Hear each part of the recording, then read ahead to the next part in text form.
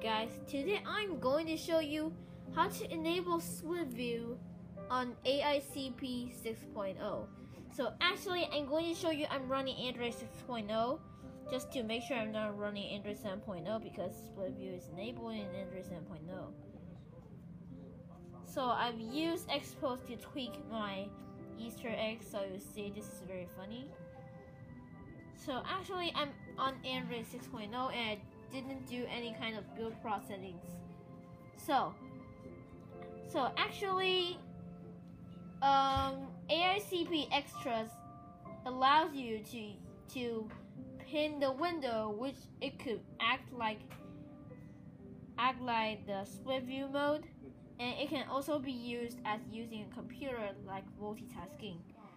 So, first, what you're going to do is hold so actually you, you need to use this recent panel enabled in OmniSwitch, but I'm actually using AICP. So you're gonna click float view.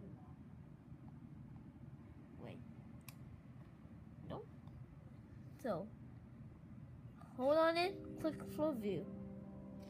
Then you see it act like a window.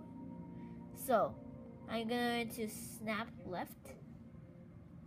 Wait snap left. It didn't snap.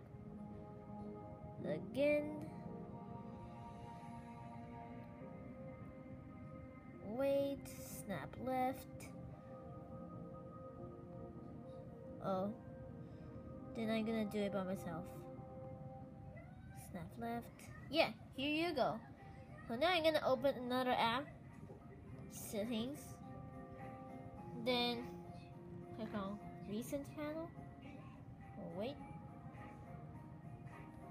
Float view. They act like a window. Snap right. So see, this is how you do multitasking. And it works pretty well. Just about it, it's a little bit hard to use. Just because it's snap right yeah, about tablet. Yeah, it still pops into full screen. But just about that you get that functionality. So, thanks for watching my video. Don't forget to subscribe. Hope you enjoy.